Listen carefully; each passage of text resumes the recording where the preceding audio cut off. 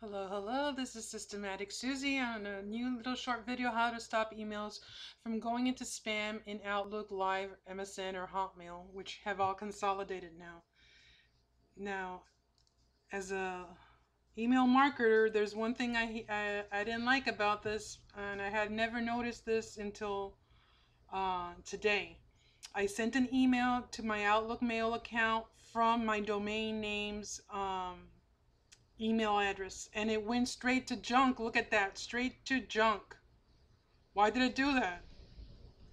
Um, so basically, if you're using Outlook Mail, you're not going to get my emails. Um, you're going to have to go in there and open the email and move to, I'm sorry, here it is, not junk. And then all of a sudden it popped into the email. Thank you for watching the video. Really easy with Outlook, but it automatically sent it to junk mail. What's up with that? Talk to you soon.